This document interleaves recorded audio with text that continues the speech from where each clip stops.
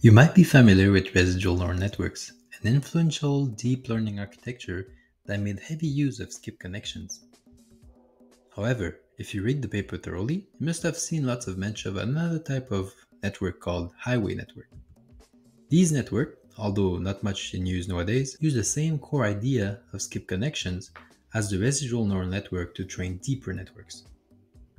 In this tutorial, we'll take a look at this architecture the result from the paper Highway Network, and the subsequent larger paper titled Training Very Deep Networks. All of the links are in the description. At the time, it was fairly difficult to train networks with more than 20 layers. Even though they had more capacity, these networks didn't even overfit the data. It was just very difficult to train them. The residual neural network was tackling this problem by reframing it as a residual problem. The architecture was a modified VGG network with residual connection in between layers. These mini information highways are created so that the output of a layer can skip a later section of the network if needs be. By the way, if you're interested, do check out my full tutorial on the ResNet architecture. I even have a PyTorch walkthrough. The idea of having side paths in which information can flow seemed to be crucial but it isn't a new concept. The long short-term memory cell had this type of architecture already created, which allowed it to have information move for sequential data. The highway network architecture is heavily inspired by LSTM. It was also made way back in the days by the legendary Jürgen Schmidhuber, which is also the author of highway networks. The resulting architecture from these currents of idea is a very simple concept of highways of information that are learnable within a network. This is a core difference between the ResNet architecture. In ResNet case, the skip connection is always fully open, and there is no transform gate that modulates the output of a transformation. The network can be any type, fully connected, convolutional, recurrent. In the paper, the results are for convolutional highway networks since they were doing mostly computer vision tasks. The derivation of how the authors went from a plain network to a highway network is fairly straightforward. Starting from the function h, which take as input x and weights, the other add a transform and a carry operation to the formula. This new formula will be able to modify the output to either make use of a learnable transformation or some other transformation of x. They then define c, the carry, as being 1 minus the transform. Both the transform t and the carry c share the same weights since c is 1 minus t.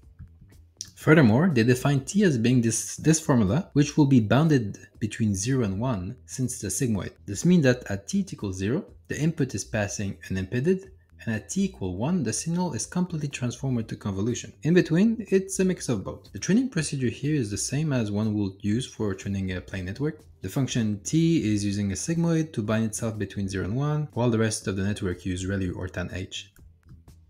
The bias was initialized between minus 3 or 1 to have a tendency to carry the input instead of transforming at the start. Finally, the number of layers was modulated throughout the experiment to quantify the performance of the architecture. The highway networks were trained in two main datasets, MNIST, which is a simple 10 class dataset with 7,000 images, and CIFAR with 10 or 100 class of 60,000 images. In the first experiment, the author decided to compare between a plain network, so regular VGG type of network, and their convolution highway architecture. They modulated the depth of both type of network from 10 to 100 while training them on the MNIST dataset. As we see on the left, the 100 layer plain network is having a hard time optimizing its performance and is way less performant than any other layer depth. While on the right, the highway network with 100 layers is more performant than its plain counterpart and has similar result to its other layer depth. As we can see on the right, the optimal network depth for the MNIST seems to be 10 layers, but the 50 layers highway network still exhibits some very good performance. We'll see afterward how is it the case. The other did a second sanity check with the MNIST dataset. The two networks they were testing against were the state of the art at the time, which was the deeply supervised net and the max out network. From their experiment, they saw that they achieved similar performance to the two networks on the simple MNIST benchmark, interestingly with way fewer parameters. The other continued to compare the network against other. One of the deepest architecture at the time was the FitNet architecture, which used a teacher-student training scheme. They modulated their highway network from 11 layer to 32 and checked their performance on the CIFAR 10 benchmark. As we can see, the Highway uh, B, uh, which matched the FitNet B at 19 layers, was much better than the FitNet of similar size. The next experiment was to compare the highway networks against the state-of-the-art network on CIFAR 10 and 100.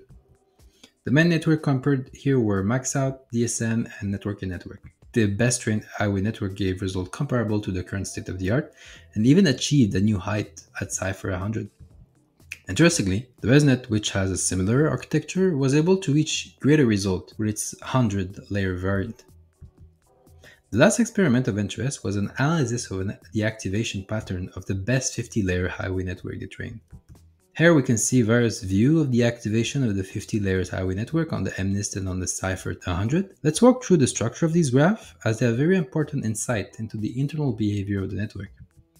If we zoom into one of the graph, we have two axes, the layer depth on the Y and the block number on the X for a given layer. Looking at the network on the right, the activation of each highway block will be mapped out in one of the layers. The color of each dot will reflect the various ways a given block in a given layer is activated.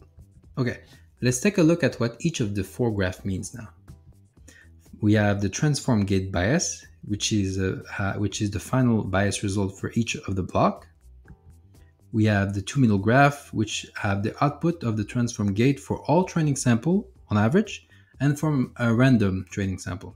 Finally, we have the output of the whole block for a random training sample. In a nutshell, for MNIST, we can see that most of the bias are decreasing even further than the start of the training procedure since it starts at uh, minus 2. The CIFAR 100 data show us a few extra things, that the early gates are usually more active, that there's a sparse activation per sample. The transform gate bias increase for CIFAR with depth, meaning that the early layers are way more selective. And finally, the mean transform gate output per class is different across classes and when compared to the main transform gate for the whole training sample. So, as you can see more clearly here for MNIST, this is different, and here for CIFAR. For a given random element across blocks, it's also pretty clear that the output from subsequent block stay mostly constant. Information therefore is passed across layer in these highway until it hit the final classification layer. These graphs were pretty information packed, but in a nutshell, the network seems to self-regulate how to fill up its capacity. The last experiment we'll take a look at is an ablation study they did on their highway networks in order to see which of the layer was actually important. How they did the ablation is by setting a transform gate to zero, which means that it only do a carry at a specific layer. So as we can see over here, only carry behavior from the previous layer output is available. This experiment was conducted for network train on MNIST and on CIFAR 100. And as we see here, 60% of the later layers are just not contributing at all for the MNIST and are simply forwarding the information. This means that the network doesn't have to be as big as 50 layer network for MNIST, which matched the result we've seen previously. Still, the performance is as good as a 10 layer uh, network since it actually kind of behaves like a 10 layer network. For CIFAR 100, the result is much more nuanced, where most of the layers are important, especially the earliest one. This gives us a view that with this type of architecture, the network can figure out how much representation power it needs, uh, just like the residual neural network. And that was Highway Network in a nutshell. I hope that this tutorial was useful. If you have any questions, comments, don't hesitate to post them down below. And see you all next week.